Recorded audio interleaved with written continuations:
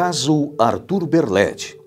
Fantástico episódio que aconteceu no dia 25 de maio de 1958, em Sarandi, município gaúcho que tem uma invejável posição geográfica, pois localiza-se ao norte do estado do Rio Grande do Sul, na região do Alto Uruguai, às margens da BR-386, a chamada Rodovia da Produção. Naquele anoitecer de maio, do final da década de 50, essa vivência do tratorista da prefeitura de Sarandi originou um manuscrito que se transformou no livro Os Discos Voadores, da utopia à realidade. Nele, Arthur Berletti conta: Vinha eu de regresso do interior, já a caminho da cidade de Sarandi, no local denominado Natalino, trajeto de 18 quilômetros que estava tentando vencer a pé. Eram mais ou menos 19 horas. Minha atenção foi chamada por uma luz estranha, colocada na orla de um mato, que aproximadamente distava cerca de 200 metros de onde me encontrava. Atravessei a cerca de arame e, quando me encontrava a cerca de 30 metros da luz, verifiquei com espanto que era um objeto material redondo, com cerca de 30 metros de diâmetro, cuja forma era de duas bandejas em superposição. Senti então vontade de retroceder e fugir. Entretanto, dominando-me e procurando raciocinar em torno do que via, aproximei-me mais ainda quando subitamente surgiram dois vultos e um fortíssimo jato de luz que me foi atirado, fazendo-me perder os sentidos. Dois tripulantes de uma nave ali pousada levaram o sarandiense a conhecer uma civilização mais adiantada do que a nossa e com recursos tecnológicos até então desconhecidos do cenário terreno. O idioma alemão foi utilizado nos diálogos entre os habitantes de planetas distintos. Arthur Berlet não está mais no mundo físico. O livro dele está com edições esgotadas, mas a extraordinária viagem sempre é comentada entre as pessoas. Estudada por ufólogos, virou documentário de televisão e entrevistas em emissoras de rádio. Nunca ficou no esquecimento. Ele conta ter acordado no planeta Akart, distante a aproximadamente 65 milhões de quilômetros do nosso planeta. A viagem durou cerca de 38 horas. A partir daí, até o seu retorno à Terra, se passaram 11 dias. Arthur ficou a maior parte do tempo numa cidade com quase 90 milhões de habitantes. Segundo seus relatos, os acartianos possuem o tipo físico muito semelhante ao dos humanos. Um acartiano de nome Akork serviu de anfitrião e guia para Arthur durante todo o tempo da viagem. Arthur teve contato direto com tecnologias e avanços nas áreas social, econômica e política, que, segundo ele mesmo, equivaleria a séculos de evolução se comparados ao que se vivia na Terra naquele ano de 1958. Vale lembrar que, oficialmente, a primeira viagem espacial do homem foi à Lua, satélite terrestre, no ano de 1969. Segundo o diretor do Museu de Ufologia de Itaara, professor Hernan Mostajo, que apresentamos no programa anterior, nos manuscritos de Arthur Berlet, no final dos anos 50, ele menciona que, durante a viagem interplanetária, teve a oportunidade de visualizar a Terra com sua cor azul. E nós só tomamos conhecimento científico desse fato no dia 12 de abril de 1961, quando o cosmonauta soviético Yuri Gagarin sobrevoou pela primeira vez a órbita terrestre. Também temos aqui no Rio Grande do Sul a história de um tratorista, o senhor Arthur Berlet, que no ano de 1958, diz ele, ter vivido uma experiência inusitada. Visitado o planeta Carte e por lá ele permaneceu por oito dias. O detalhe dessa história do Sr. Arthur Berlet é tão curioso que naquela época, em 1958, ele inclusive escreveu esse relato curioso e muito especulativo em 422 páginas a lápis, a qual esse documento histórico encontra-se no Museu Internacional de Ufologia, História e Ciência. Ele falava que nesse planeta que ele visitou, toda a energia desse planeta vinha a partir da energia da estrela do planeta. Ele falava que nesse planeta que ele esteve, as pessoas se comunicavam através de um vidro liso na parede, o que hoje nós conhecemos como uma videoconferência. Ele falava que os veículos né, funcionavam de forma não de roda, mas sim eles ah, andavam, voavam pelos céus do planeta, também funcionando com energia solar. Ele contou muitas curiosidades, muitas maravilhas que naquela época nós nem tínhamos conhecimento. Basta lembrar que em 1958 o ser humano recém estava despertando para a astrobiologia, inclusive estava recém conhecendo a existência de outras galáxias. Também é bom lembrar que o senhor Arthur Berlet falava dos multiplicação de mundos, a qual a Cork, o extraterrestre que foi mentor dele lá no planeta Carte, falava para ele que existiam muitos planetas habitados por outras civilizações. Tanto é que, cientificamente falando agora, desde 1992, nós começamos a entender os chamados planetas extrasolares. A especulação é grande. Não desmerecendo este caso relatado e outros tão famosos e documentados de abdução, não podemos desconsiderar outras hipóteses que a ciência já estuda. Primeiro, um alto grau de manipulação dessas pessoas, seja por pesquisadores, psicólogos regressionistas, podendo induzir essa experiência ainda mais se a pessoa lê, participa de congressos e acredita nesse tema. Ou seja, ela já tem um conteúdo e imagens mentais criadas por ela mesma, e assim, em uma hipnose sem um bom profissional sobre o tema, será facilmente induzida e estimulada a aumentar esse conteúdo. Segundo, muitos abduzidos, ao relatar essa experiência, cientistas usando aparelhos de ressonância cerebral notaram que existe uma zona no cérebro e ela é ativada durante o relato da experiência. E pasmem, essa é a mesma área ativada em alguns pacientes durante um surto esquizofrênico. Terceiro, poderiam ser experiências militares criando cenários relacionados a ETs para encobrir experiências reais?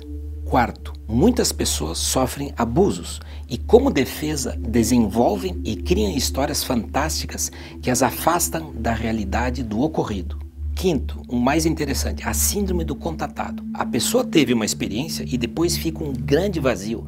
E ela preenche esse, essa experiência com informações ou ela dá uma continuidade nas abduções, pois a experiência foi tão impactante para ela que ela não consegue mais viver com aquele vazio ou trauma posterior. Então pense bem, pessoal, a pessoa tem uma abdução ela tem isso como um fato fantástico na vida dela.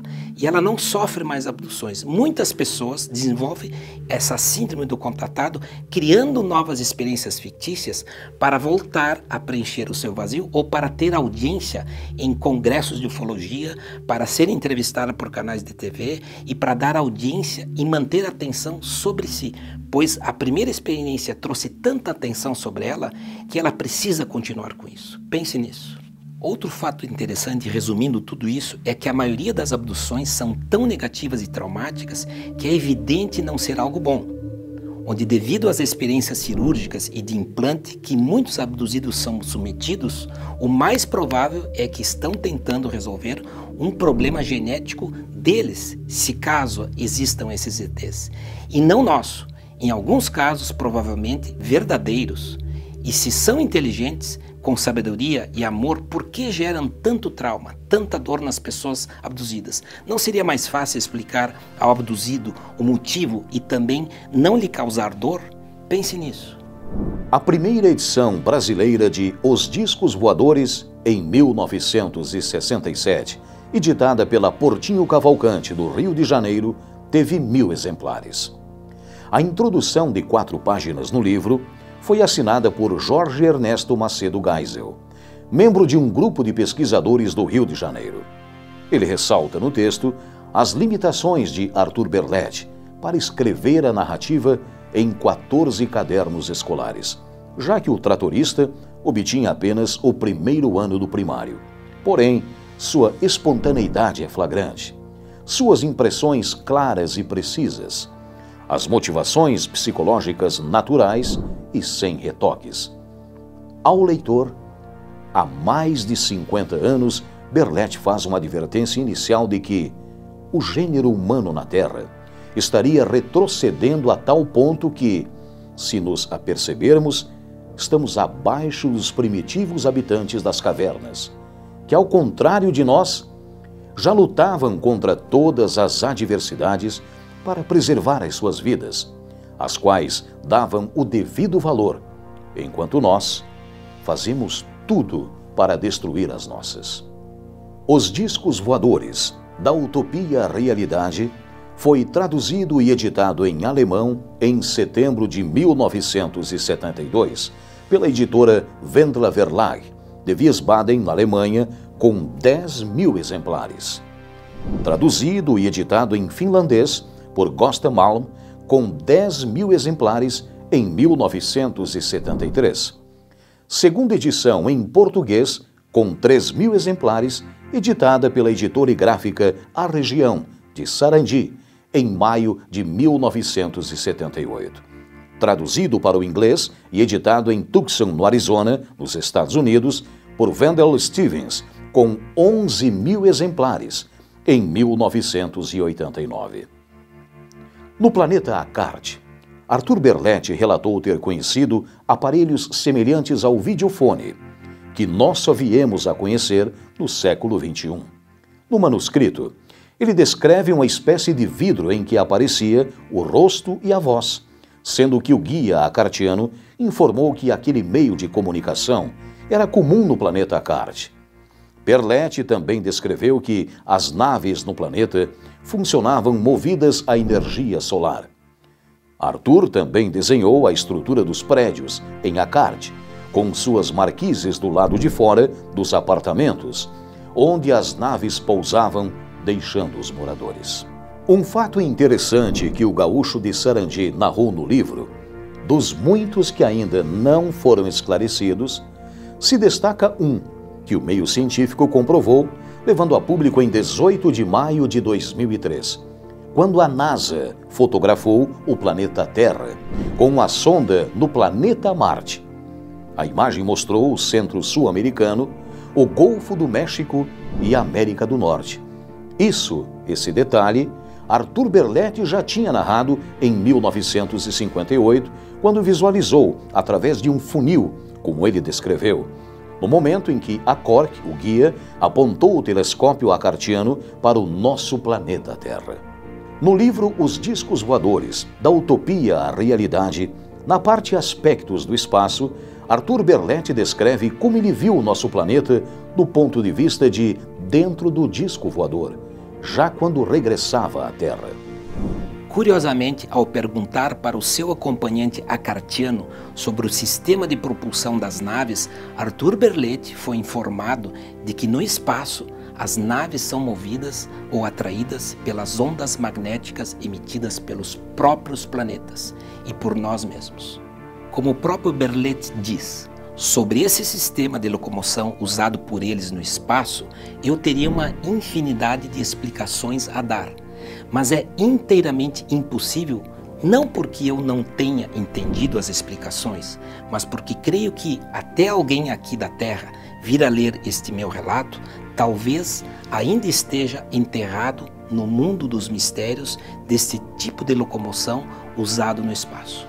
Ele nos conta, porém, vários detalhes da nave. Disse ele, por exemplo, que a Cort lhe explicou como funcionava tudo aquilo, Quando nós saímos, ele me mostrou uma chapa quadrada na cúpula da nave, com um metro de comprimento e 80 centímetros mais ou menos de altura, parecida a uma torre.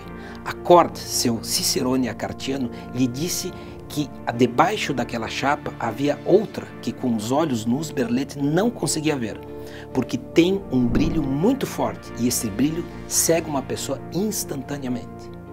Sobre a função da chapa, a Cork informou que ela por si só não tem utilidade alguma, porém, quando ligados os motores que há dentro da nave, eles produzem uma espécie de vibração e é essa vibração que produz as ondas magnéticas, iguais às emitidas pelos planetas.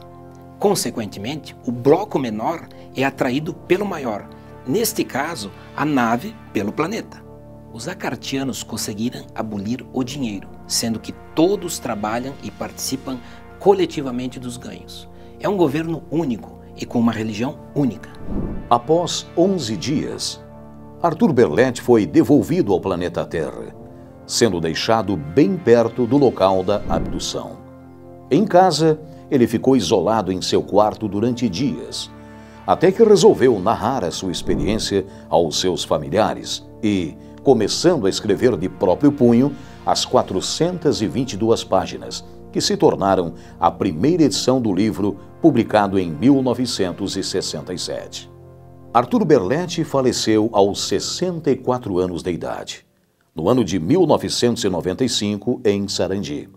Em solenidade no ano de 2020, que contou com a presença da família Berletti, foi apresentado o projeto de um monumento para homenagear ao abduzido sarandiense, a ser instalado em um dos pontos mais altos da Praça da Cidadania.